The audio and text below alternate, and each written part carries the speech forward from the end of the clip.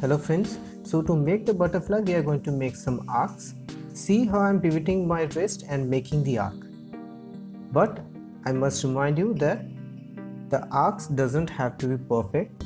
Just make one as much good arc you can make. My arcs might seem much better with the pen because I'm used to it but if you have followed my first video in this uh, pen drawing series then you will know that uh, the lines doesn't have to be perfect. The background will make the inside better. Means we have opportunity to make the figure pop out through the background. So i'm just going to continue with the drawing. Here i'm making some petals of the flower on which the butterfly is sitting. So just make the petals with lines simple lines whatever possible. It doesn't have to be perfect like i said because everything is going to be mended or repaired through the background. And in this drawing the main thing is the butterfly and its design. And you do not have to make the butterfly designs like I am making. You can make any kind of design whatever you like. After filling up the butterfly with some you know the strokes and random strokes all we have to do is make the background and the butterfly will pop up. So here I am making the design like whatever I feel like a butterfly design should be. So you can make this design or you can make any design you want. I'm just going with some random pattern and uh, by the way the link to my first video will be in the description. If you follow that you'll know that uh, I asked you to do the background with on the main subject with some random strokes. And there I strokes the strokes in the form of 8 and uh, very random strokes but giving random strokes makes you makes your mind trained to move your hand freely. So it's actually kind of an exercise. So using the same movement I'm going to just fill up the butterfly. So I'm just going to use some random strokes to fill up the butterfly. Another thing is that uh, I have a white pen. So even if I make the butterfly really dark I have a white pen to make it pop up. So if you think that the butterfly shouldn't be as very dark then you can give some light strokes as well. Light random strokes like whatever strokes you like. Light random strokes that will keep the black lighter i'll come to that in the later part of the video. So i'm just going to fill up the designs. And here i'm going with some random circular strokes. Because I think that would look good. So that's why I gave it the circular strokes. So I'm going to carry on with it here I'm giving the random circular strokes. And the main reason for doing it is that the black won't be very darkish black. Here I'm marking the designs so that the design pop out after the final product.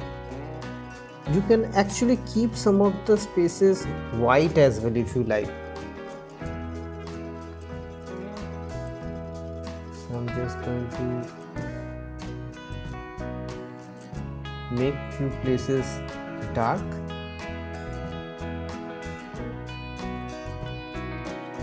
This is actually kind of an intermediate level drawing but it's not extremely extremely tough or something like that. It is little bit uh, more than or lesser than easy. It's not extremely easy but it's okay. It's good enough. You, uh, if you give it a little bit of try it will you can draw this. And the main thing about these painting is that like we all know that in a lockdown situation so these paintings are very simple. Like there is only one subject or two but it takes a lot of time and that is something we are trying to pass right? So it takes a lot of time it will consume lot of your time and it only requires pen and a paper. So you can all give it a try and it will be really helpful in passing time and it will you can avoid going out like you won't feel bored or something.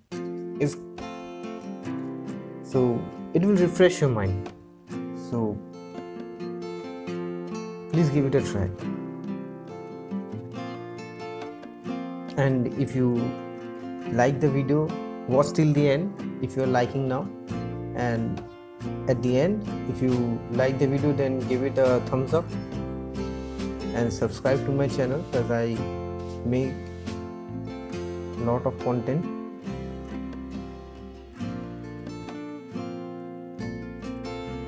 So I'm almost finished filling up the design. So can you see? The white portions are popping out in the black so imagine how it will look when I will fill the entire background.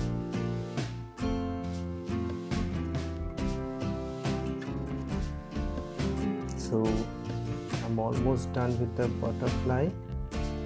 And uh, let me make those little bit dark. So and I'm going to make the tentacles of the butterfly bit thick so that there is space to put on some design. And I'm sorry for this but the camera actually stopped in the middle. But in the flower stem also I did the same thing that is put some random strokes in. And actually the drawing is done. Now all we have to do is fill up the background. And that's it. So I'm just going to go ahead and fill up the background. Here I'm giving the same old vertical and diagonal strokes. And like I said the strokes doesn't have to be perfect. So I'm just going to give the strokes and I'll just fill up the entire thing. And I'm going to keep the flower white completely white so that it pops out. Here I'm going with some horizontal strokes, vertical strokes. And there's something which I'll add in here because I want the background to be darker. So I'll just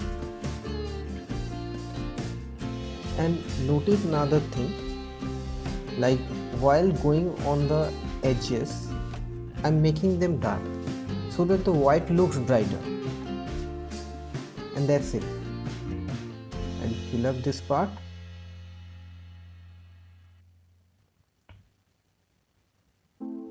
Now the flower will look really bright. And that will give a very good look to the entire drawing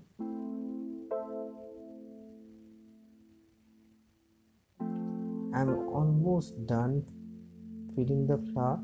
We can almost feel how the finished product might look.